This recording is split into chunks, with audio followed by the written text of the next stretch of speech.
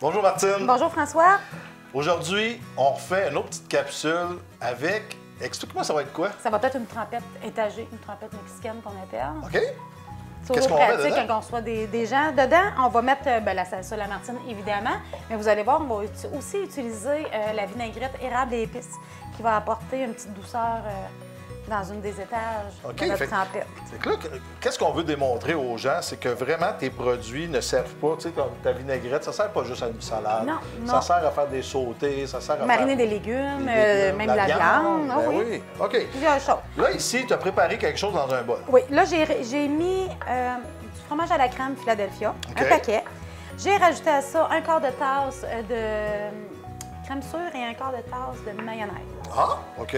On va ajouter les, des petites échelles, des petites Ciboulette? ciboulettes OK. pour ben, apporter une petite couleur. Ah, ben oui. C'est toujours bon. C'est toujours bon. Puis j'ai vu que tu avais mis euh, aussi un, un petit peu de base de poulet.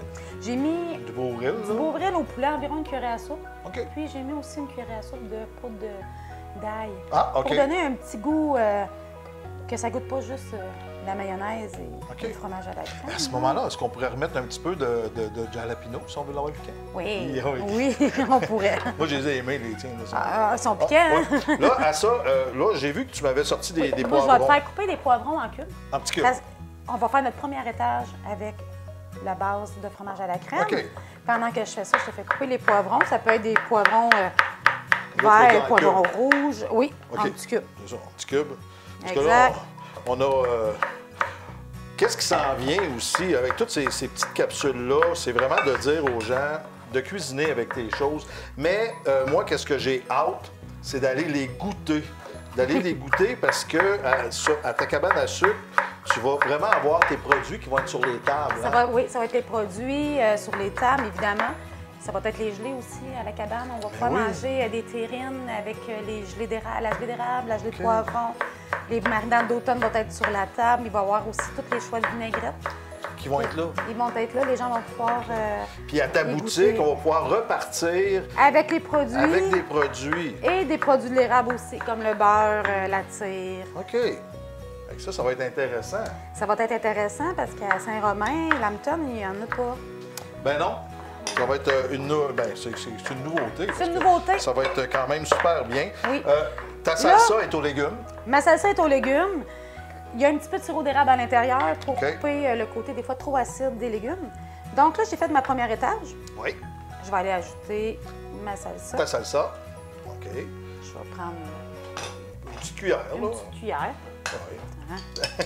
Parce qu'on gratte jusque dans le fond parce que ton produit Oui. est tellement bon qu'on ne veut pas l'en laisser. On n'en perd pas. Il faut pas perdre Non. une miette, une goutte. Là, de toute façon, moi, je vais le garder. Puis, euh, on, va, on va le licher après. Ouais. On va mettre là un. J'en mets comme la gros- la- l'équivalent d'un pot. Là. À la maison, les gens vont pouvoir mettre l'équivalent d'un pot. OK, c'est bon. Que ça, c'est important que quand on, va, on va chercher des produits, on achète plus qu'un pot. Là, on voit très bien, euh, justement, tu me parlais euh, dans une autre capsule des grains de, de maïs que tu Oui. mettais à l'intérieur. On les voit bien. Fait qu'on voit que c'est vraiment une belle salsa, des beaux morceaux, céleri, poivron, tout ça. Là. Oignon, Ouais. il y a des tomates évidemment, poivron rouge, poivron vert. Parfait. Donc là, ça c'est fait. Je vais aller rajouter mes petits cubes de légumes, une partie, puis je vais en garder une petite partie pour décorer à la fin. OK. Bon, c'est bon, ça. Fait qu'un petit peu de même. Bon, moi, je ne les ai pas toutes mélangées, mais on, met- on C'est peut mélanger tout ça. Euh, ceux qui n'aiment pas les verts parce que c'est plus dur, vous n'en mettez pas. Vous Exact. choisissez. Dans le fond, je mets. Mettez ceux-là parce qu'à part avec. tu ne veux pas décorer avec ceux-là? Ouais. Je surveille. je vais mettre aussi un petit peu de des échalotes, euh, des oignons verts euh, OK. ciselés. Puis à ce moment, si on n'en a pas, on pourrait prendre des oignons rouges. Oui, on pourrait prendre des oignons rouges, des quoi. françaises, euh, c'est bon. comme qu'on veut. Ce que je veux, dans le fond, c'est que ça soit pas trop mouillé par-dessus parce que je vais aller mettre du bacon. Ah, OK. Je veux pas qu'il détrempe OK. dans la salsa. La salsa est plus euh, liquide un peu que les... Ah, là, je comprends. Fait que tu Ouais. prends du bacon, Oui. tu mets ça là-dessus. Si moi, euh, parce que je vais souvent à la ferme des petits orieux chercher de la saucisse, Euh, je- Oui, exactement. On pourrait on pourrait défaire de la saucisse, La euh, cuire. la cuire euh, sur notre, dans notre poêlon, OK. puis euh, Parce qu'encore là, c'est tous des produits locaux que tu travailles. toi. Toujours. OK, Oui. parfait. Donc là, j'y vais avec un bacon. Bacon, oui, c'est ça qu'on avait. Oui. OK, on met ça là-dessus. Puis euh, là, On en j'ai met hâte- du j'ai hâte de voir si tu vas mettre ta vinaigrette. là. Tu, le- tu peux en mettre dessus un peu. Oui. Ou tu peux la mélanger avec euh, ta mayonnaise. Exactement. Ah, là, là. Mais on, on va en mettre un petit peu avec euh, nos, nos restants de petits piments, Ah, OK. puis qu'on va aller décorer sur le dessus. OK. Fait que là, la décoration, ben là, je vais couper les deux petits morceaux. Oui, en plus, j'en ai trop pris tantôt. la petite décoration oui, qui va aller par-dessus. exactement. On va mettre un petit peu de, de vinaigrette, érable et épices. Oui. Juste un petit peu, Pour, euh, pour aller donner une petite douceur. Ah! Là, ben, on, a, on a la érable et épices, mais totalement à la moutarde, ça On- serait on bon aurait pu aussi. mettre la moutarde, on tout- aurait pu mettre la beauceronne aussi, qui Et- est à base de tomates. Oui, c'est vrai, on aurait été très rechercher un peu euh, ta la salsa. salsa. OK. Oui. Donc là, je vais mettre euh, du fromage euh, mozzarella, OK. De, de la chaudière? de la chaudière. Mais à ça, je rajoute un petit peu euh, du fromage euh, cheddar moyen, de la chaudière, biologique.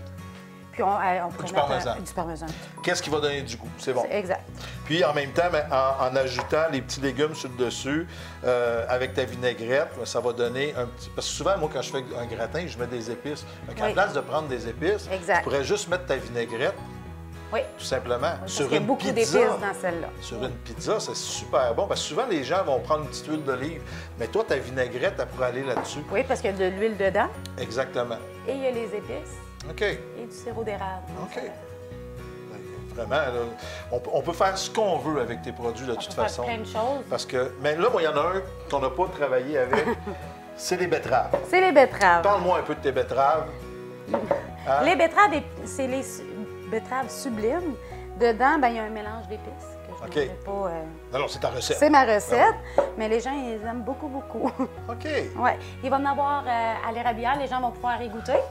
Évidemment, il va en avoir. Ben oui. Ben, ça, ça fait partie. Ça euh, fait partie tout ce qu'on va retrouver. concept. Mais je trouve que c'est une, bonne idée que vous avez eue, justement, de, de faire ça, cette, euh, cette cabane-là, pour aller passer tes. Ben, montrer aux gens tous les produits que tu peux faire. Puis j'imagine que dans tes recettes, on va aller retrouver aussi à la cabane à sucre parce que le, le produit de base va être là, Oui. mais il va être agrémenté justement avec tes beaux produits. C'est l'idée. Ouais. Donc, juste comme ça, on va. On met un petit peu de Tout le parmesan. parmesan comme on veut. Oui, comme on veut, au goût. Ouais, c'est Puis ça. on va aller. On va aller mélanger le, ça le un petit mélange. peu. Puis on va juste, juste On va juste en ça. mettre un petit peu, comme ça. OK. C'est toujours gagnant, hein, ces recettes-là, les gens aiment ça. Ouais, vraiment, là, Comme ça. on peut pas se tromper. Non? Euh, puis même s'il vous reste, dans votre pot, il vous reste un peu de salsa, moi, qu'est-ce que je ferais? C'est juste des gouttes de salsa Un dessus, peu. avec un petit peu de vinaigrette. Euh, ça donne... Tu sais, au départ, on mange tout de suite ton produit, c'est super bon. Merci, Martine. Merci, Encore François. une fois, sur Facebook, pour des Oui, suggestions. la page de La Martine, On peut pas euh, manquer. Puis ton numéro de téléphone? 819-237-4701. Sortez, le temps des fêtes est là. Oui. Après les fêtes, c'est les sucres. On a des beaux Ça produits. Euh, acheter local, c'est ce que tu, euh, Je prône, oui. tu, tu prônes beaucoup. Mais merci. puis Merci on à goûte toi. à ça. Parfait. Bon appétit. Bon appétit.